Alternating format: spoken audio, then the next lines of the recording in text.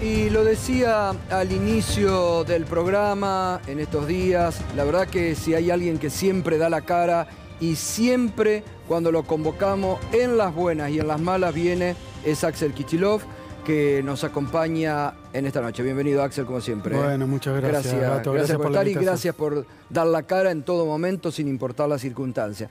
Y además, se lo quiero decir personalmente, porque en estos días lo hemos dicho, eh, yo no creo que todos en la política sean lo mismo.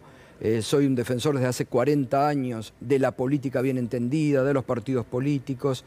Y me parece que si hay una persona que en los últimos años, cuando entró a la política desde otro sector, ha demostrado un mismo nivel de vida, austeridad, sencillez, vive en la casa donde todos los periodistas íbamos a buscarlo cuando era ministro, se fue a vivir a la residencia del gobernador, es usted. Entonces, me imagino por el momento que estará pasando también. Y sí, la verdad, gato, enojo, bronca. Eh, creo que Martín cometió un grave error, que además fue una conducta inaceptable eh, que no cabe en nuestro gobierno, en mi gobierno. Eh, ante eso se reaccionó muy rápidamente, muy pero muy rápidamente. Ese mismo día me puse en contacto con, con Martín y resolvió presentarme la renuncia en el marco de una conversación donde no, iba a poder durar más que ese día en el cargo. Y luego de apartado del gobierno, bueno, yo estuve viendo las especulaciones, estuve viendo también eh, las diferentes hipótesis. Bueno, esas son explicaciones que va a tener que dar él eh, y sobre las que yo no voy, a, no voy a especular porque no sé, yo no sabía que iba, que iba a tomarse esos días ni a dónde se iba a ir y por tanto, bueno, actuamos con decisión, actuamos con firmeza y como te digo, en medio de una campaña donde nos estamos rompiendo el lomo, una campaña muy complicada, por eso también el enojo, la bronca, tener que... Y, el momento, porque creo que se enteró en el medio de un acto, ¿no? Sí, no, saliendo de un acto con, la, con los metalúrgicos en la Quinta de San Vicente, en la Quinta de Perón, ah. eh, ahí me muestran en el teléfono y era solo verificar eh, si era cierto, hablé con él y bueno, y al rato resolvió eh, sí, desplazarse del gobierno y, mm. creo que, fue la decisión correcta. Vos pensás que en otros casos, muchísimos, hubo dilaciones, espera, a ver qué Creo que acá había que tomar una decisión fuerte. Se no lo dudó un minuto. no, no, porque, no porque me parece que estamos en una situación compleja y que, y que, bueno, por eso yo no soy ni juez, menos todavía psicólogo, ni, ni, ni tengo por qué. Simplemente esa conducta no era adecuada. Además, yo lo decía en la radio estos días, yo no me lo imagino, a usted no me lo imagino directamente en esas circunstancias, pero no me lo imagino al Cuervo Larroque que se mata militando, a Nico Kreplak, a María, a Cristina Álvarez Rodríguez. Eh, bueno, pero digo, a los funcionarios que están con usted en el día a día, que se matan laburando, no me los veo en esas situaciones. Uno los conoce en el terreno, digo, eh, un poco como... por lo decía Agustín Rossi, no nos representan esas conductas y la mayoría de los dirigentes militantes no nos representan, supongo que... Sí, sí, por eso la bronca también, porque después se utiliza para generalizar, se utiliza para manchar, se utiliza para ensuciar. Creo que ahora estamos en una situación donde apartado el gobierno tendrá que explicar él sus motivos, sus razones, y, y bueno, y ante los fueros y la, la digamos, ante la sociedad y ante la justicia eventualmente tendrá que explicarlo. Yo, en lo que respecta a nosotros, me parece que por eso, ni bien nos enteramos, ni siquiera porque en la foto se viera un hecho de corrupción, ¿eh? pero bueno, eso que se vio en la foto no somos nosotros. Exacto. No, y además que no hay una denuncia sobre su gobierno, porque creo que no, no hay hechos o denuncias de corrupción sobre usted o sobre ministro o sobre el gobierno. Digo, eh, molesta actitudes indignas de alguien que hasta mancha un proyecto o a su gobierno. Sí, bueno, por eso, me parece que había que, dar un, corte rápido a la situación sin esperar nada más, simplemente ese hecho y ese conocimiento. Y luego, bueno, a partir, eh, a partir de ahora, mira, yo, gato, eso ocurre el fin de semana.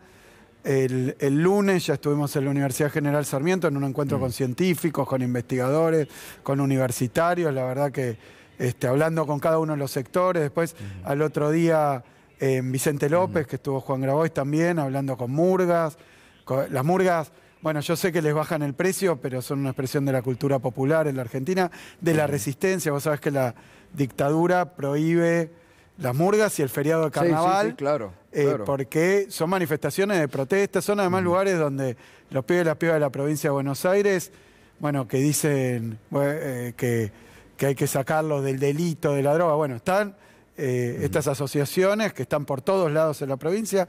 Venimos trabajando con Florencia Saintut para darles este, un acompañamiento, para darles más visibilidad.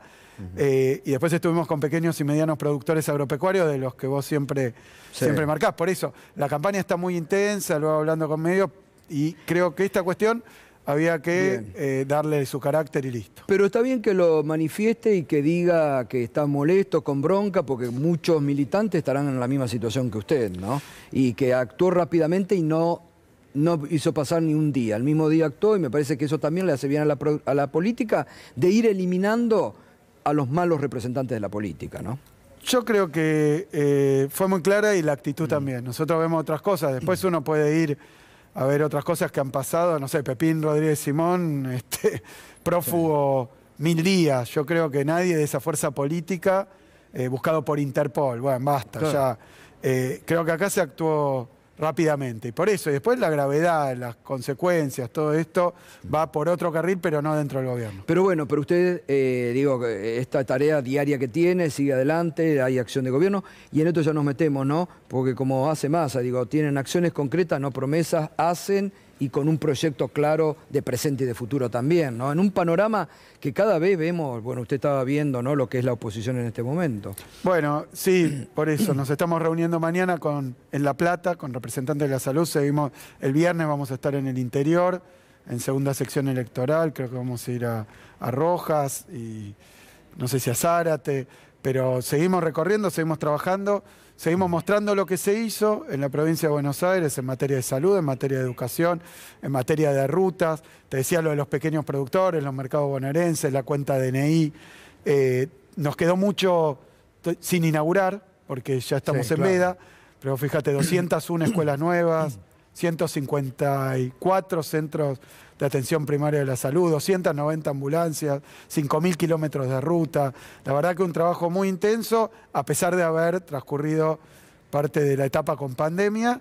Eh, un equipo de trabajo muy fuerte, no es que estoy recorriendo yo, están todos los compañeros y compañeras ministros que vos decías, todos trabajando intensamente y, y creo que sí, que hay una desesperación también, que se nota acá. Yo te decía, hablábamos recién con Jessica, ¿no? Viniendo para acá, que el esquema es vamos a ordenar la Argentina y tienen un despiole, un despelote.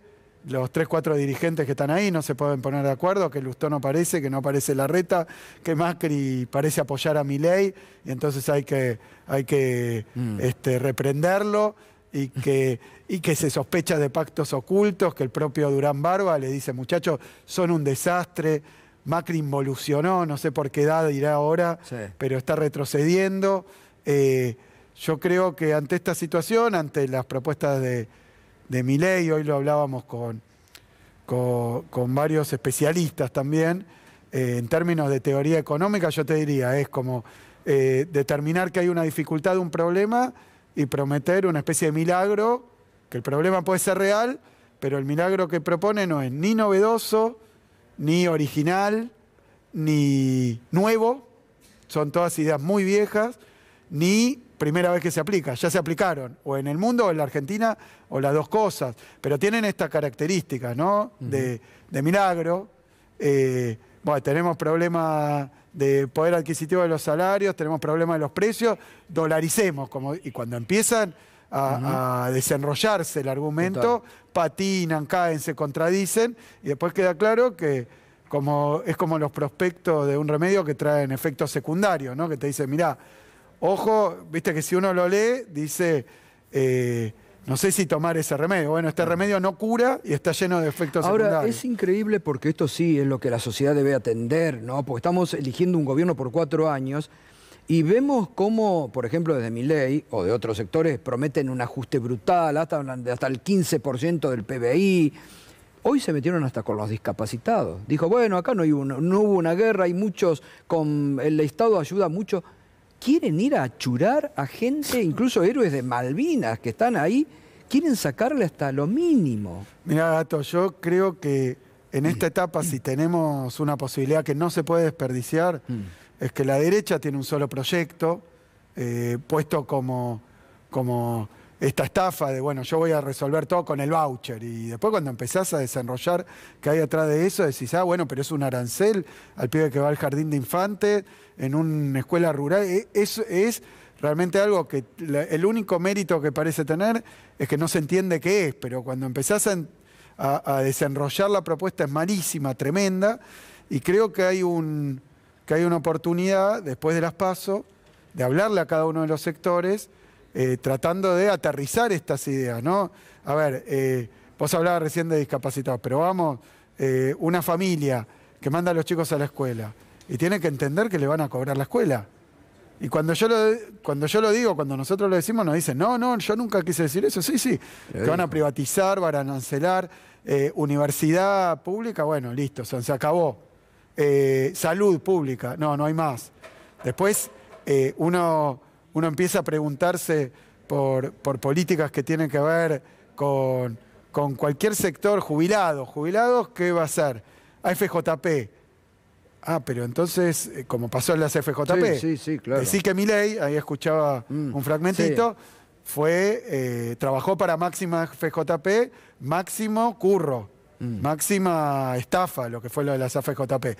Y las jubilaciones de la mayoría las terminaba pagando el Estado, así que ni siquiera en un ahorro, o bueno, a tirar gente mm. directamente a la eh, basura. Pasan cosas hoy en la campaña, por ejemplo, donde la propia gente en un barrio eh, no sé si te enteraste lo de... En Varela, ¿no? Vamos a ver lo que pasó hoy con Píparo en Viva.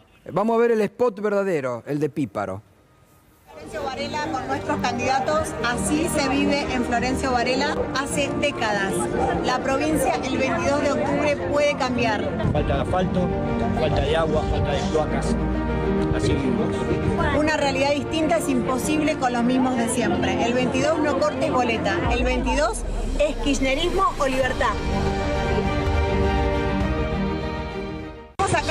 Varela con nuestros varelanos. La realidad es que se vive así hace décadas. El 22 de octubre no corte boleta. El 22 de octubre kirchnerismo o avanza libertad. Sí, porque lo están arreglando. No se vive así acá, lo están arreglando ahí. Están haciendo la obra.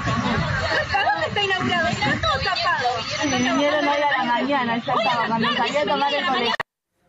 Bueno, la misma gente diciéndole, no, están arreglando la calle. Digo, cómo las mentiras, las fake news que después se reproducen, pero cómo hay una reacción también conciencia ciudadana de la gente, ¿no? Sí, la verdad que bueno, ahí Florencio Varela, el trabajo que se hizo en pavimentación, el trabajo que se está haciendo en rutas, el trabajo que se está haciendo también, ahí hay mucha producción industrial. Mira, la historia de Florencio Varela, eh, del parque industrial de Florencio Varela, ilustra un poco lo que pasó en el último tiempo. Mm. Más allá de todo lo que nos falta, etcétera, eh, hay un parque industrial, había cinco empresas, yo lo recorrí cuando fue el macrismo, se estaban yendo las cinco, mm. pero así, ¿eh? Cinco empresas se estaban yendo. Ahora ya se erradicaron 36. En esto, más allá de la pandemia, la guerra, la sequía, 36 empresas. Eh, es decir, que son las diferencias también que hay que empezar a bueno, señalar. Bueno, daba su ministro de Economía, eh, daba datos sobre la exportación y cómo la provincia se ha posicionado económicamente, ¿no? Bueno, por eso, yo creo que la realidad tiene complejidades, tiene deudas grandes, genera malestar, sobre todo la cuestión salarial, la cuestión de los precios, la distribución del ingreso, pero en el marco de una política que, que ha generado empleo, podemos discutir la calidad, y, pero pasamos de 9 puntos de desempleo a 6 puntos de desempleo aproximadamente. O sea que hubo una mejora de la ocupación y ahora se reconoce lo que hay que hacer también. Y del otro lado es como decía Cristina, no tirar el bebé con el agua sucia. Porque hay dificultades, sí. Entonces, ¿qué vamos a hacer? Dinamitar la producción, dinamitar la industria, dinamitar la obra pública, cerrar las escuelas, arancelar las calles. Eh, y bueno, creo que en ese sentido eh, es muy claro. Nosotros lo que hacemos es reconocer lo que falta, pero comprometerse precisamente con el futuro, con un futuro para, para la provincia. Axel, ¿qué tal? Buenas noches. El, el 13 de agosto ganaste la elección, fuiste el candidato más votado en la provincia de Buenos Aires. El 22 de octubre se resuelve porque no hay balotaje. Hay muchos gobernadores peronistas que fueron derrotados. ¿Vos crees que este escenario se va a repetir y que vas a poder ganar? ¿Y por qué vos sí y hay otros que no? No, yo creo que en la provincia de Buenos Aires se valora, se valora el resultado de la gestión, decía, educación, salud, vialidad, eh, obviamente puertos, eh, parques industriales, mercados bonaerenses, cuenta de DNI, cunita, conectar igualdad, casa de la provincia. Hay mucho, hay mucho hecho, eh, por más que obviamente está en el marco de un, de un plan, de un programa donde lo que falta se, se va, se va a abordar. Eh, creo que hay mucha gestión, creo que hay un gobierno que a pesar de lo enorme que es la provincia, a pesar de lo compleja que es, a pesar de lo heterogénea que es, se ha recorrido. Yo ahora estoy terminando la tercera recorrida por todos los municipios de la provincia y el otro día estuve en Olavarría que me decía, yo hablé de tres, tres vueltas y decía, bueno, pero en Olavarría estuviste vos ocho veces. O sea que en las grandes ciudades es otra cosa distinta, pero mucha presencia y no del gobernador, sino de un equipo del gabinete, todos caminando, ministro de Producción, ministro de Agricultura, ministro de, Educación, ministro... Bueno, sigo, tenemos, hemos abordado cuestiones como un ministerio de mujeres, como un ministerio de ambiente. Creo que eso se reconoce, que se ve y por otro lado me parece que hay factores que tienen que ver con cuál es el futuro que estamos armando para la provincia, la transformación ya más profunda, cuestiones que tienen que ver no con, que cambiamos todos los patrulleros, bueno, los duplicamos, bueno, aumentamos la cantidad de gente, le mejoramos el equipamiento, cambiamos la organización, pero además de todas las modificaciones, esta me parece que se empieza a ver que hay un horizonte de transformación, un horizonte de mejora y hay una provincia que no va a poder eh, soportar un programa de derecha, porque no lo soporta la provincia de Buenos Aires. Somos el corazón productivo de la Argentina. 52% de la industria, principal provincia agropecuaria, principal provincia refinadora de petróleo, tenemos minería. Cuando viene el modelo neoliberal, cuando viene el modelo de la derecha, de primarización, de financiarización, cuando viene el modelo de la derecha de deuda, cuando viene el modelo de la derecha de ajuste, sufrirán todos, pero la provincia de Buenos Aires la parten al medio. Y creo que eso se vivió con Macri y ahora vienen estos que uno dice más rápido más profundo. Melconian, el otro día ojeaba el programa, el programa de Melconian y es lo de Macri, pero más rápido y más profundo. Y por otro lado, lo de Milei, que son cosas que entre las que no se entienden y las que lamentablemente se entienden. Y después está en juego cuestiones que me parece que no están dentro de la sensibilidad de la provincia de Buenos Aires.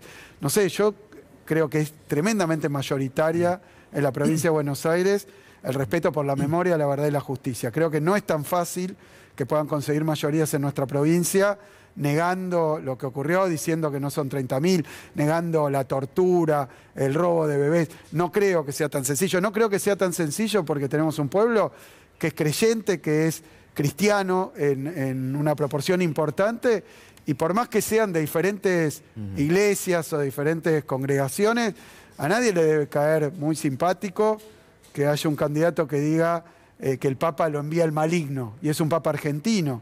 Entonces hay cuestiones que creo que están apareciendo de las pasos a la general, donde se presta un poco más de oreja. Nosotros lo decimos, ahora no es cuestión de expresar la bronca, el enojo, el malestar que se entiende por todas las dificultades que hay. Todo eso bien. Ahora hay que elegir un futuro. Y cuando uno empieza a ver qué futuro te ofrece Milei y Bullrich, a ninguno de los problemas que tiene la provincia, a ninguno se resuelven así, no se resuelven con menos Estado. Y, y nos toca recorrer, a mí me toca recorrer y donde vas te dicen, bueno, falta una escuela ahí, hay que arreglar tal cosa, hay que bachear la ruta, los caminos rurales, que hicimos 4.500 kilómetros, falta aquel, falta acá que el parque industrial tenga más potencia. ¿Y eso quién te lo va a hacer? ¿El mercado? ¿Quién te lo va a hacer? Eh, la libre empresa, que todo bien, hace todo lo que es rentable. Ahora, donde hay, o por falta de mercado, por falta de volumen, o por falta de ingresos, donde eso no está, no te va a faltar las calles del conurbano. El conurbano tenía 100.000 calles sin asfaltar. Y hemos asfaltado 13.000. Obvio que falta, pero a este ritmo se empieza a cubrir una demanda histórica, porque han sido dos años con la pandemia en el medio. Entonces, yo creo que eso es lo que, lo que se ha podido transmitir en la provincia. Y obviamente la provincia, la provincia, si no hay un gobierno nacional que lleve adelante una política de desarrollo con inclusión, la provincia de Buenos Aires la liquida. Bueno, le va ya- a sacar la coparticipación, dijo Javier Milei. no, Javier Milei dijo algo que como siempre no se entiende y cuando se empieza a explicar se contradice.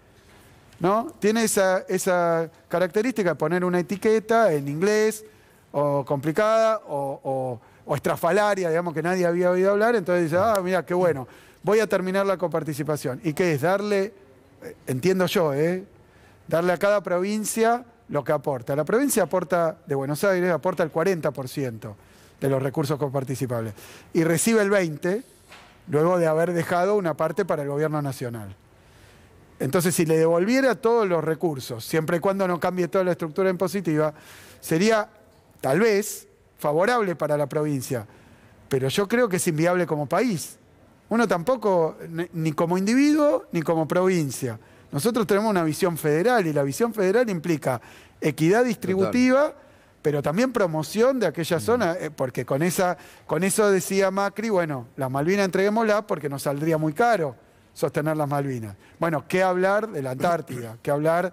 eh, entonces, yo quiero decir que todo eso hace a lo que está en juego esta elección. Hay que explicar todo lo que está en juego esta elección, hay que reconocer lo que falta, en lo que nos habremos equivocado, que se puede hacer mejor, hay que comprometerse con esa tarea y del otro lado hay que mostrar la amenaza. Porque hay una amenaza, sí. lo que está en riesgo, está en riesgo que los jubilados cobren, está en riesgo que los pibes vayan a la escuela, está en riesgo y me parece que eso empieza a ser más este, visible, más audible. Entramos en una etapa donde la gente ya, cuando vota, se pregunta qué va a pasar el día después, aunque en la tele suene lindo. Bueno, ahora Milei, que era el que gritaba, insultaba, ahora va, digamos, domesticado, pero de todas maneras, me parece que hay que pensar qué futuro queremos, hay que elegir un futuro. Y nosotros queremos más derechos en el Axel, futuro. y cuando hablan de esto de la casta permanentemente, los políticos chorros, corruptos, ahí eh, en las últimas horas usted ha dejado trascender que va a proponer un cambio en la legislatura bonaerense, ¿no? La jefatura de gabinete la eliminó ya, ¿no? La jefatura de gabinete es por ley, así que vamos a esperar que haya bien. legislatura. Pero, Pero, tiene sí, esa intención. Sí, va a ser así. Bien. ¿Y, y- y va a promover un cambio o va a promover un debate para que se modifique la legislatura en la provincia de Buenos Hay Aires? varias cosas. La primera que quiero decir es que nosotros presentamos en diciembre del año pasado, por primera vez en la historia de la provincia,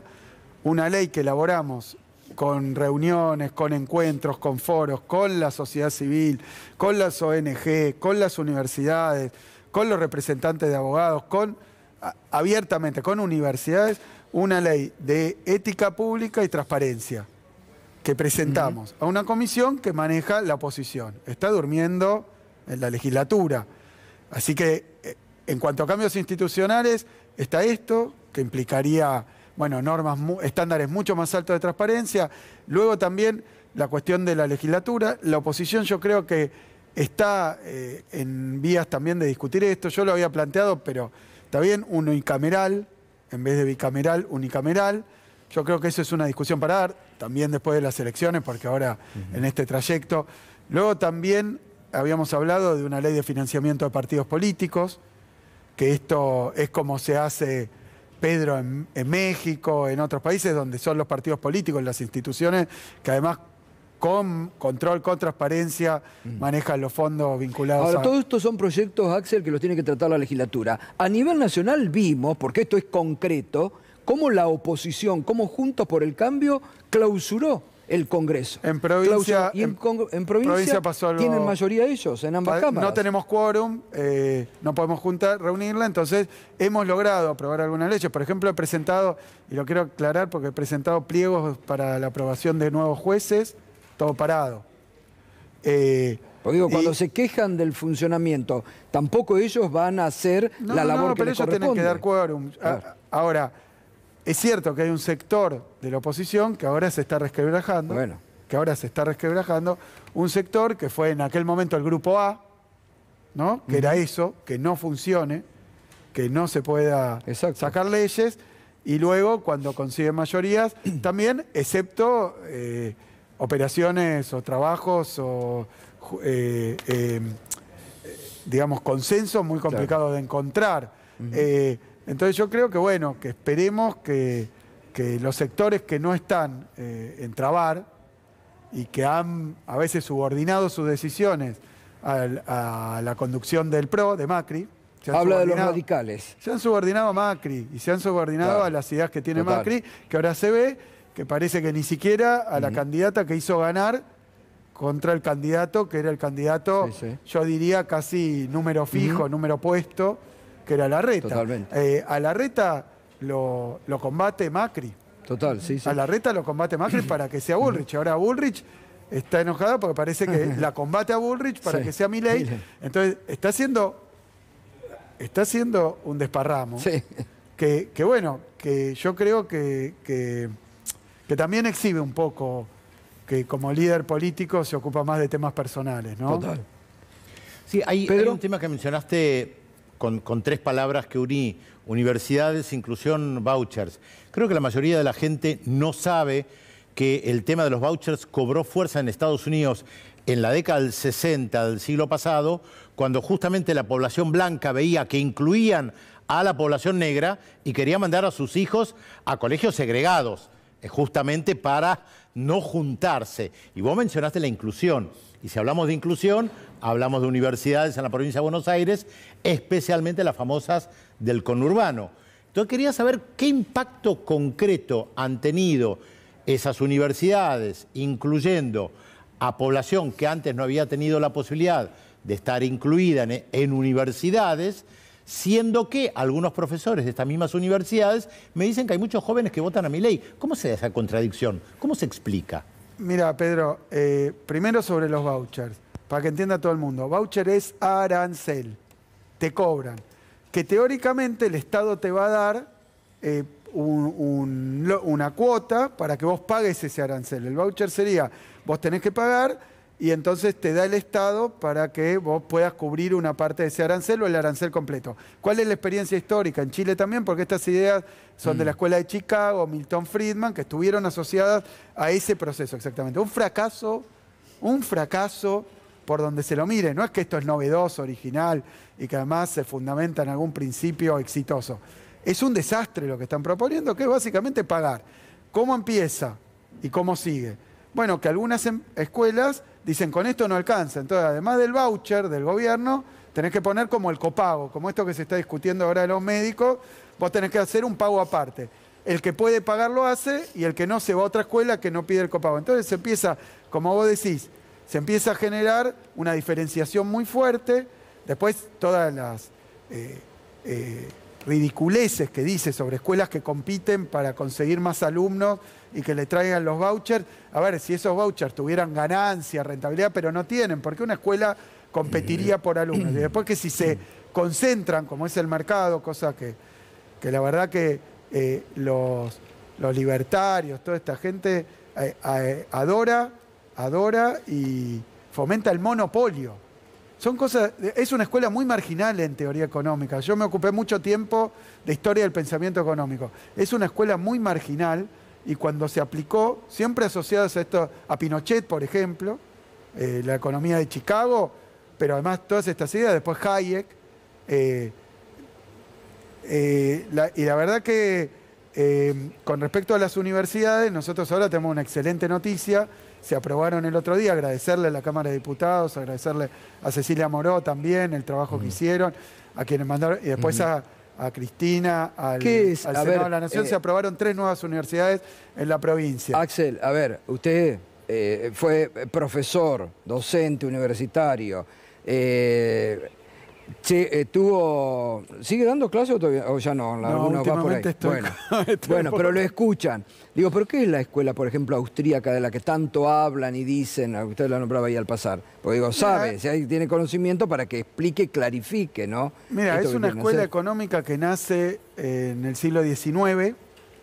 Sus fundadores son, bueno, se suele hablar de Hayek, pero Bomises.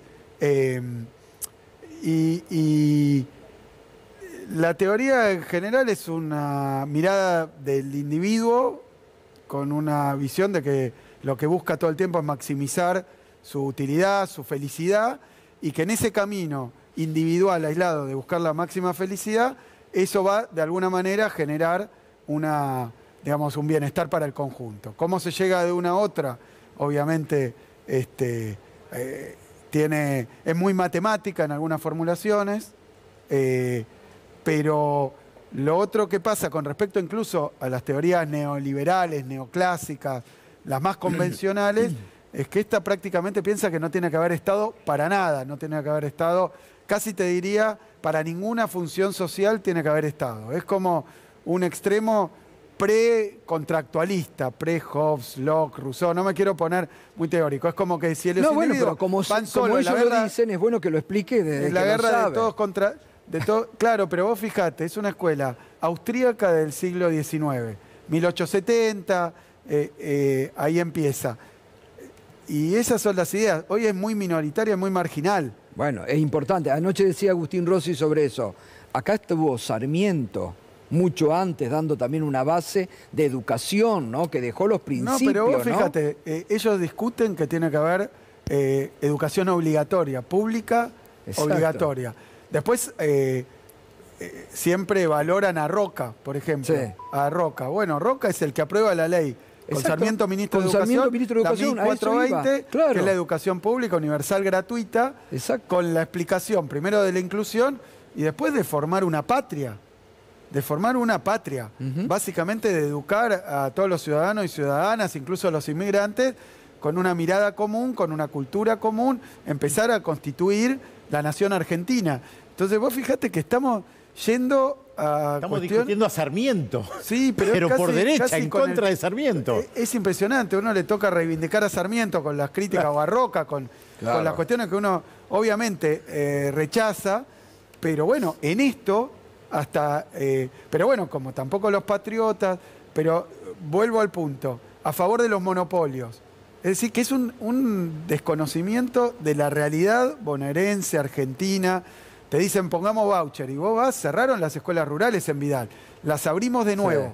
Sí. Pero un voucher para qué? Para que compita quién con quién exactamente. ¿De qué están hablando? No. Entonces me parece que a medida que uno va desenrollando el papiro ese, lo que se encuentra es un montón de, cuestiones que son eh, poco realistas, eh, que en general han sido y han demostrado ser absolutamente ineficaces y desastrosas, que ya se han probado, que han fracasado y sobre todo que no tienen nada que ver con, con las necesidades.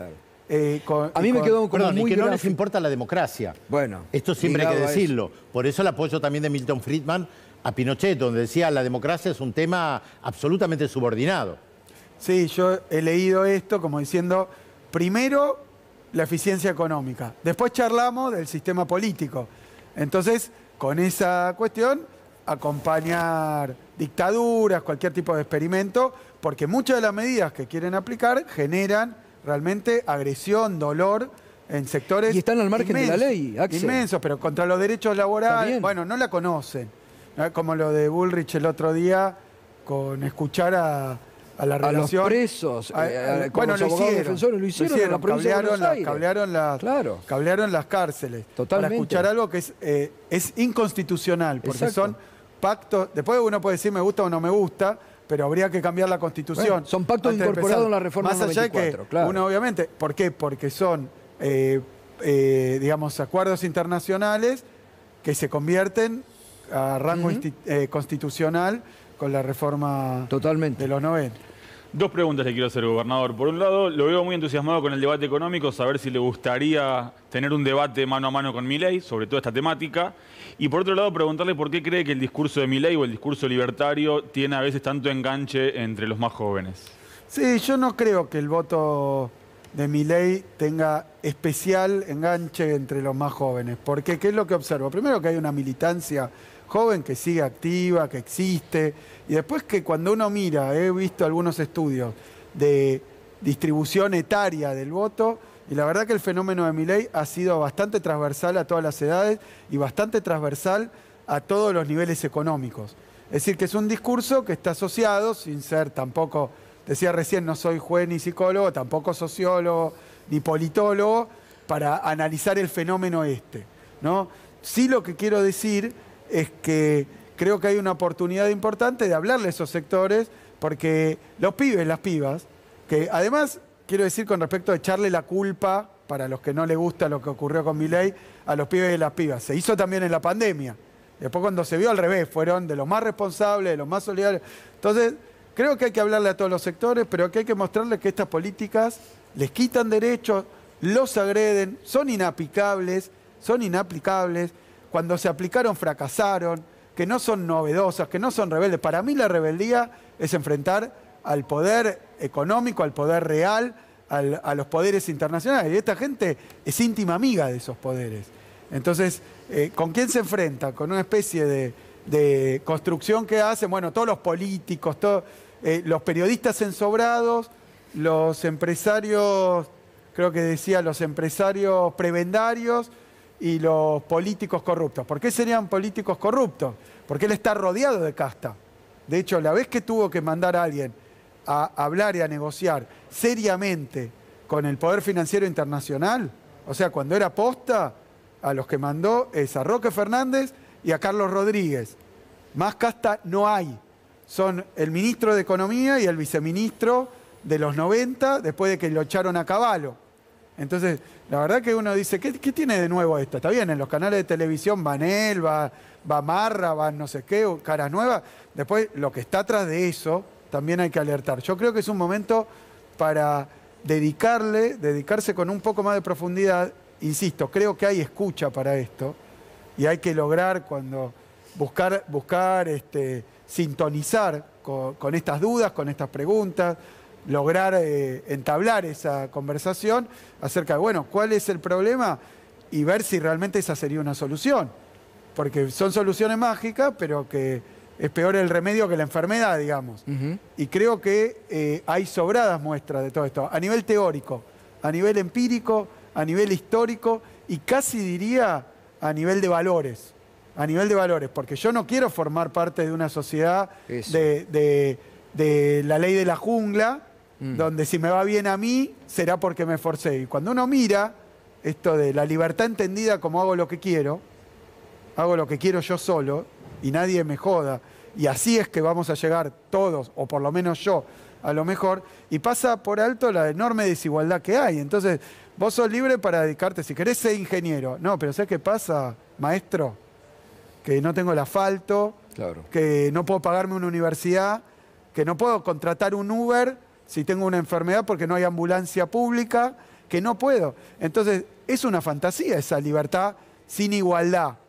Es una fantasía, es un verso y es una estafa, porque todos somos iguales, pero eh, es, más igual el que tiene el poder adquisitivo para adquirir por la privada. Incluso parece que hay una cobertura, un manto de cobertura sobre la figura de Javier Milei que hasta aunque diga las cosas que dice, como por ejemplo ahora sacarle la pensión a los discapacitados, hay ciudadanos que dicen, bueno, pero no lo va a hacer. O sea, también está esto de la dolarización creen que lo va a hacer, aunque no lo fuese a hacer, y las cosas con las que amenaza, que quizás sí generan dudas en la, en, la sociedad, dicen, bueno, pero no lo va a hacer, no va a llegar a hacer esto, no va a echar a nadie, no le va a sacar la plata a los jubilados, no se la va a sacar a los pensionados. Hay una cobertura especial o la ciudadanía no lo mira con los mismos ojos. Me imagino que, y te pregunto si es porque justamente no viene del lado de la política y no está señalado con un, con un político.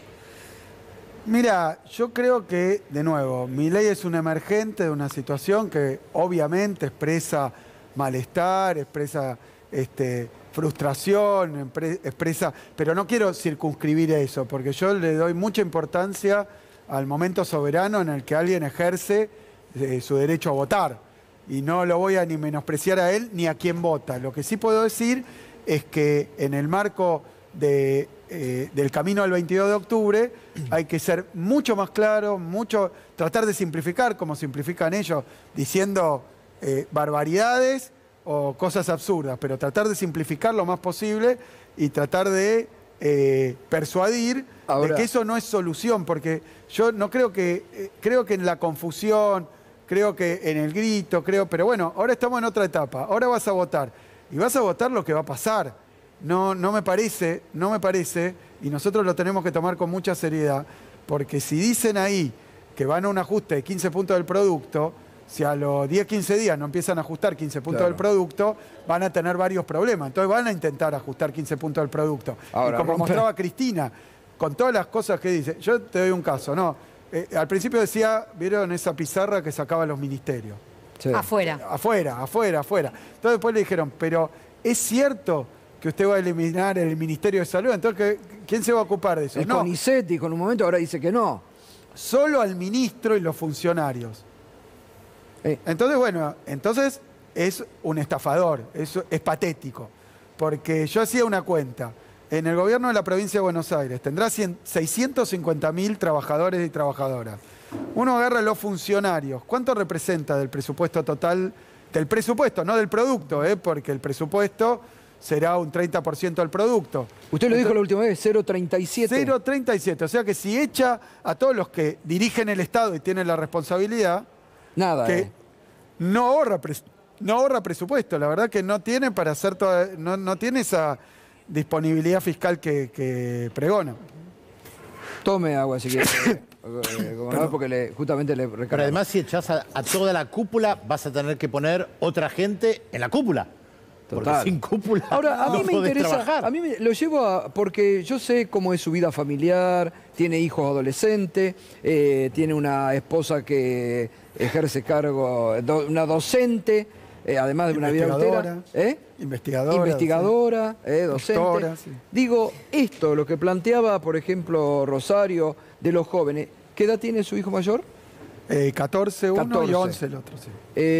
¿se, va, ¿Se transforma esto en debate en su familia? Porque escucha a su hijo, que quieren algunos de sus compañeros, hablan de mi ley y esto. No, sí, sí, sí. Además porque uno trata de entender y repito, con los amigos de su hijo, alguno le dice, yo lo voy a votar a mi ley. No, no tuve, no tuve esa todavía, situación porque todavía no tiene que hacer docencia ahí.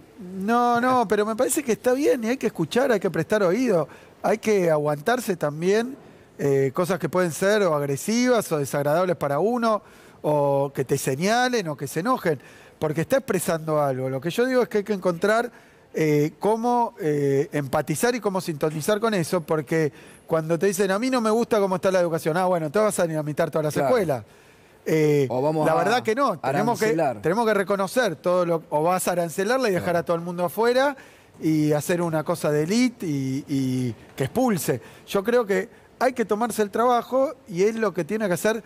Yo decía, esto no lo vamos a poder hacer en TikTok, no lo vamos a poder hacer ni siquiera, por más que agradezco el tiempo, no lo vamos a poder hacer en mm. la tele, no le llega a todo el mundo. Ahora los medios, creo que esto hay que hacerlo en el cara a cara, por eso también. Total. Eh, y, bueno, por eso recorre mucho usted y anda. Eh, por eso, eso nosotros, pero también entre pares, es importante, mm. importante la militancia. Mira, está pasando en las escuelas, está pasando en las fábricas, con empresarios o trabajadores que hablan con sus mm. colegas y dicen, no, yo voy a votar a mi ley mm. porque estoy enojado, porque voté y no pasó tal cosa que esperaba, porque no me alcanza.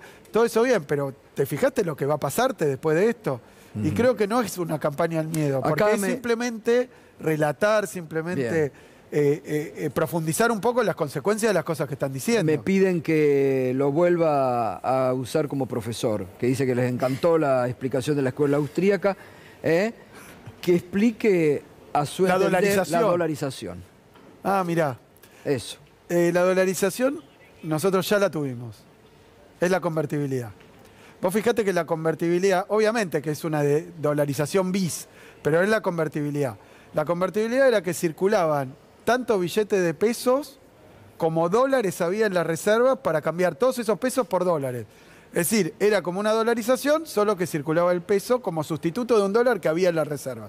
Y si había menos dólares en las reservas, tenían que circular menos pesos. Es decir, que era equivalente a una dolarización. ¿Qué es lo que pasó durante la convertibilidad? Y bueno, es cierto, hay, mucha, hay algunos, habrá algunos que o se olvidaron o habrá algunos que no lo conocieron y no lo vieron. Ahora, los que vivimos la convertibilidad sabemos que representó el quiebre de la producción nacional, porque eh, con, ese, con ese esquema que viene junto con lo mismo que traen ahora, apertura indiscriminada de las importaciones, una tasa de interés que era del 20% en dólares, no había crédito, ¿no? una caída salarial y del empleo en el marco de en el marco de una inflación que había, pero en dólares. Bueno, ¿qué es lo que pasó? La economía argentina perdió competitividad la economía argentina al tener menos dólares perdió el crédito y los que fundieron, que llama la atención, era, por ejemplo, lo hablaba el otro día, los sectores rurales. El campo, la dolarización lo liquidó, ¿eh? lo mató. ¿Se acuerdan que terminamos la época de la convertibilidad con 300.000 productores menos agropecuarios? Obviamente, pequeños, medianos, medianos grandes. Y 12 millones de hectáreas hipotecadas. 12 millones de hectáreas hipotecadas. Se encadenaban a la tranquera de los campos. ¿Se acuerdan las mujeres agropecuarias en lucha para que no le remataran los campos a los ruralistas? Lo fundieron todos. Hay que decir también, ¿quién lo salva? Néstor Kirchner. ¿Quién lo salva? Después de todo este proceso, Néstor Kirchner, que permite, en vez de liquidar y rematar los campos, que se queden con, que se queden con sus propiedades. Bueno, pero eh, eh, contando un poco la historia, yo creo que cuando empieza, primero para dolarizar hacen falta dólares, para la convertibilidad también. ¿Cómo consiguieron los dólares? ¿Cómo consiguieron los dólares? Endeudando y privatizando. Vendieron IPF, vendieron aerolíneas, vendieron el agua, eh, la empresa de agua, vendieron la empresa de teléfono, vendieron, privatizaron todo, todo lo que pudieron, pero ni siquiera, o no exclusivamente por un afán privatizador para se llamaba la joya de la corona, vendían la todo de la abuela. para conseguir los dólares. Y generaron la bicicleta financiera. ¿Por qué? Porque había libre entrada y salida de capitales. Entraban los capitales, una tasa de interés muy alta en dólares, después se iban los capitales más los intereses que habían engendrado. ¿Eso que necesita? Más dólares, más endeudamiento. Bueno, una lógica que sin el tema monetario similar a todos los programas estos que fueron los del macrismo, que fue el de Martínez de Oz. Es similar, es simplemente a nivel monetario eh, presionar y obligar a un ajuste más grande y a una y, estrujar mucho más a la producción y al trabajo argentino. ¿Cuál fue el resultado de la convertibilidad? ¿Cuál fue el resultado de la convertibilidad para los trabajadores? Ah, bueno, los trabajadores cobraban en dólares. Mirá, primero sueldos congelados durante 10 eh, años. Las paritarias volvieron con Néstor Kirchner. Las paritarias volvieron con Néstor. Con Néstor no había. No había. Y por otro lado, un desempleo creciente.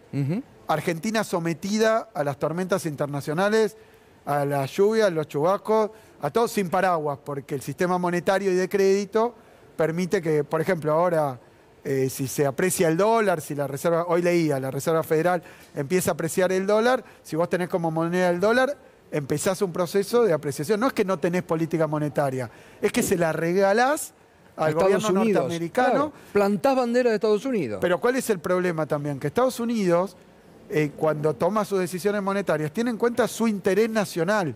Tiene su moneda y su interés nacional. Para eso eh, tiene soberanía monetaria. ¿Vos te crees que le va a preguntar a la Argentina si necesita más acceso al crédito, si necesita un salvataje eh, eh, de, un banco, si mm. necesita... No, bueno, la verdad es que vamos a entrar a un esquema donde empezamos la convertibilidad, sería con 6-7 puntos de desempleo, cuando asume el menemismo, y termina la convertibilidad, no el 2001, sino la convertibilidad con un estancamiento económico que viene del 94 hasta el 98, que después desencadena que pierda Menem también y gane la alianza, y en el medio de eso un aumento del, desempleo porque quiebran las industrias, quiebra la producción, quiebra los pequeños productores. La verdad es que es un desastre, ya lo vivimos. Dolarización, convertibilidad, mismo paquete. Axel, gracias, ¿eh? la verdad, un gustazo en todo eh, y gracias, bueno, tiene que venir más seguido para darnos estas clases también de, economía y a seguir con fuerza, ¿eh? recorriendo la provincia de Buenos Aires. Sí, sí, mañana ya estamos. ¿Eh? Bueno, hoy estuvimos. ¿Entró Servi el Clio o todo? ¿Eh? ¿Eh?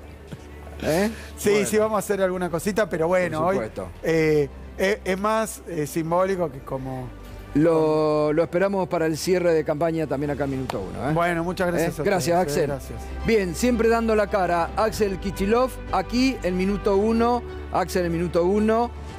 Pausa, ya volvemos. Listo.